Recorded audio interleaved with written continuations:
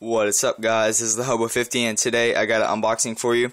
Uh, this unboxing is from Square Jellyfish. Um, if you don't know about them, then they make uh, like stands and earbud holders and they're really compact so you can keep all your stuff like a stand and earbud holder in uh, one little spot and keep it really compact. Um, let's go ahead and get into this review or this unboxing. Sorry, my bad. Um, first we reach into the box, we get a green uh, square jellyfish, and looks down here, looks like down here we have a blue one. Uh, that's it in the package. Um, so looking at the box, you can see that they have the square jellyfish. Then it says uh, this product is designed specifically for use with Apple ear earpods uh, with a microphone designed by the USA, made in China. Um, and it also has a model number and a square jellyfish. I will have this link down here in the description if you want to go check this out. It is www.squarejellyfish.com.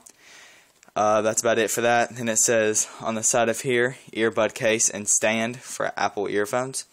And nothing right here. And it says the same thing on that side. And they got their logo right here, which is really nice.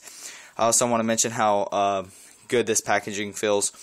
Uh, feels really nice and um, kind of a expensive type of packaging.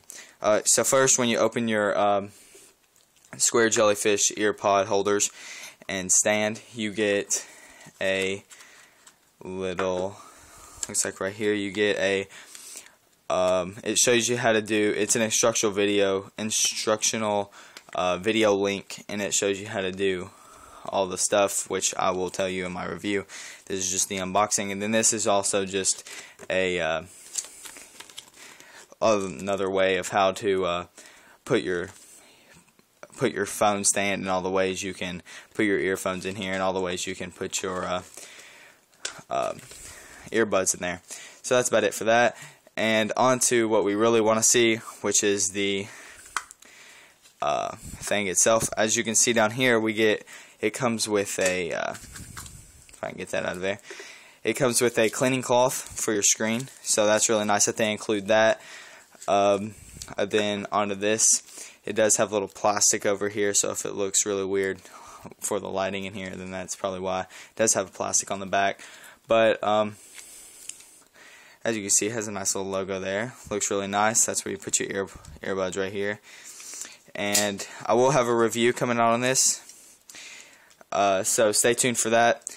I will be going over the price and everything of these. So definitely stay tuned for that. And uh, it will be coming out in probably uh, maybe the same day this review goes out, but maybe, maybe a day later, a couple days later. Uh, I want to thank you for watching this video. If you like the video, please, please press that like button. It helps me out a lot. And subscribe to my channel. Helps me out a lot. Uh, I want to thank you for watching. This is the Hobo 50, and I'm out.